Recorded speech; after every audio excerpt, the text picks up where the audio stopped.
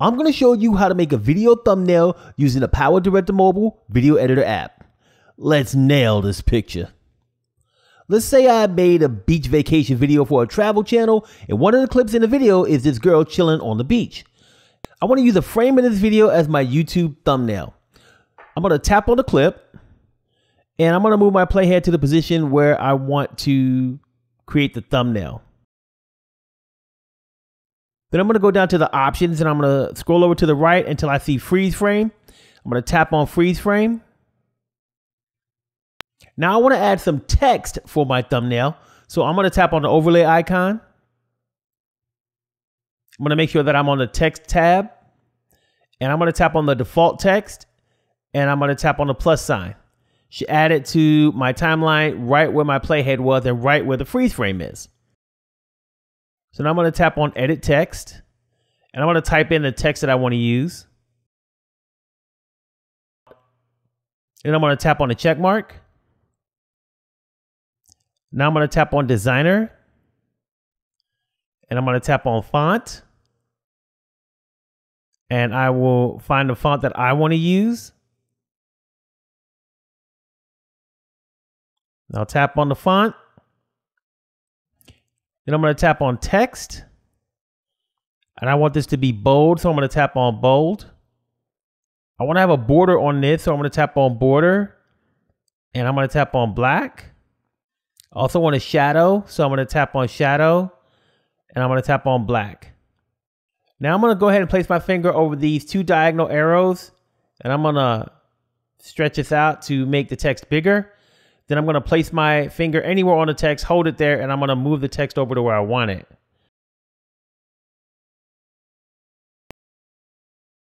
Now I'm going to tap on back.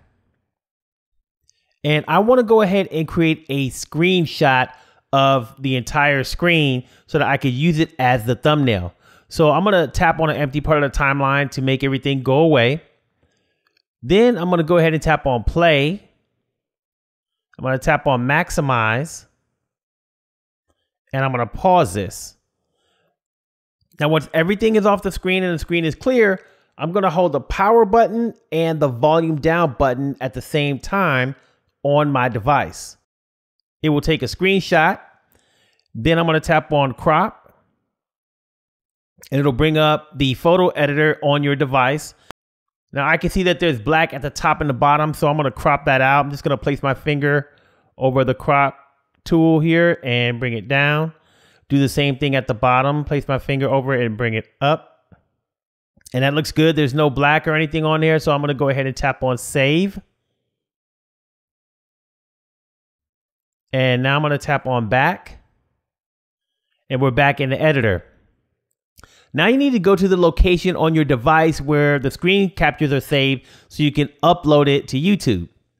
So I'm just going to swipe up. I'm going to tap on the middle icon. Then I'm going to tap on my files.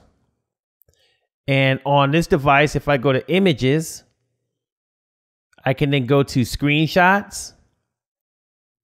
And I can tap on a screenshot. I can choose how I want to view the photo. And now that you know where the screenshot is saved on your device, when you upload your video to YouTube, you go to the same location to upload your thumbnail. Now, your thumbnails ain't so dirty. You can use a freeze frame to make other cool effects using PowerDirector. If you want to use one to make the Zach King effect, check out this tutorial.